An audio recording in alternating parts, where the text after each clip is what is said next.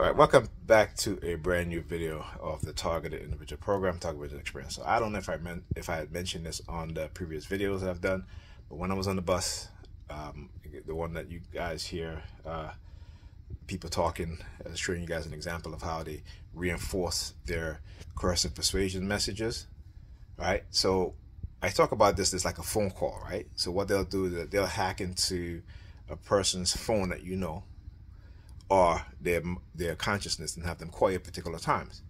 So I was on that bus and I had my my phone was ringing, but I didn't really know because I had my earbuds on, and um, but it was my phone, right?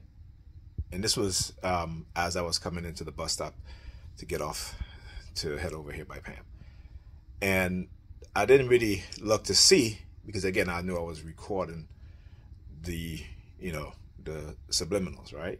The message and what have you. So when I got here, I saw it was my mom. So I was meant to call her, but I forgot, and she ended up calling me. Just now, I just got off the phone with her.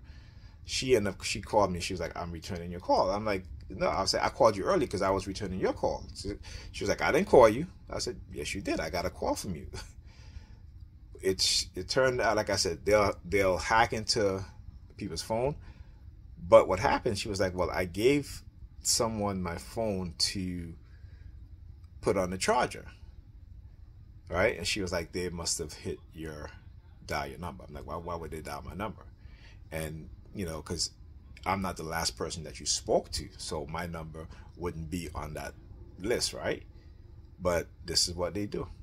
Okay. But I, I don't think that person hit my number. I think they hacked into her phone and uh, have her phone dial me while I was on the bus. Right. I hear the sirens now police, the police and the um, the ambulance and the fire truck. All right, very low, very very low. Yeah, so this is what they do. This is what they'll do. Okay, talk to you guys in the next video.